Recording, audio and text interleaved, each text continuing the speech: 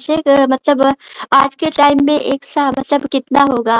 पौने तीन किलो या तीन किलो कितना होगा? देखिए तकरीबन ढाई किलो ढाई किलो के आसपास होता है। अगर आप ढाई किलो निकाल रहे हैं तो कुछ उसमें ज़्यादा ही है। चावल या गेहूँ जो होता है वो तकरीबन ढाई किलो बनेगा।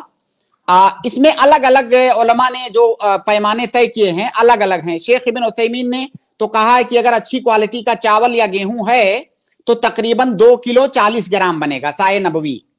लेकिन वही जो आपने शुरू में कहा कि हम थोड़ा ज़्यादा तो जो थोड़ा ज़्यादा होगा वो हमारी तरफ़ से एक तौर से नफली सदका है। हमारी वाजिब जक़ात एक सा में अदा हो गई, जो ऊपर है, वो हम अपनी अपनी तरफ़ से ज़्यादा दे रहे हैं।